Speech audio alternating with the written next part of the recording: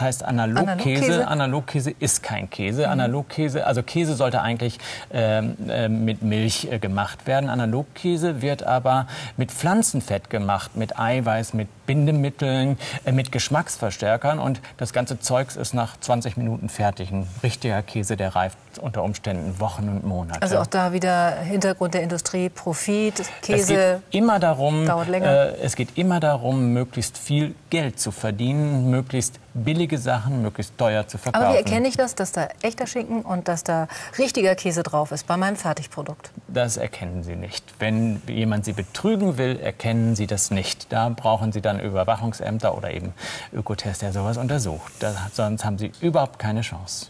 Also die Lust auf Pizza ist mir jetzt ein bisschen vergangen. Zum Pizza isst man dann ja ganz